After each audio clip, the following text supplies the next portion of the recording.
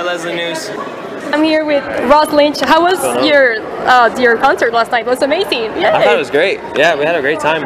It was first time in Monterey, and Yeah. uh, everyone showed up to have a good time. That's all we can expect. Yeah, it was amazing. It's good. Thank you yeah, so much. thank you so much.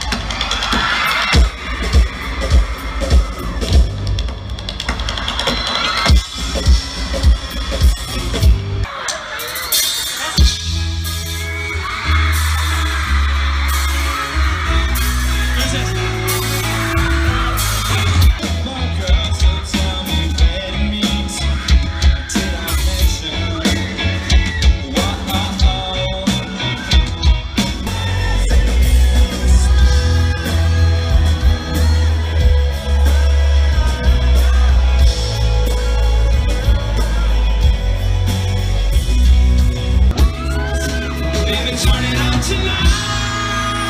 Come on, yeah.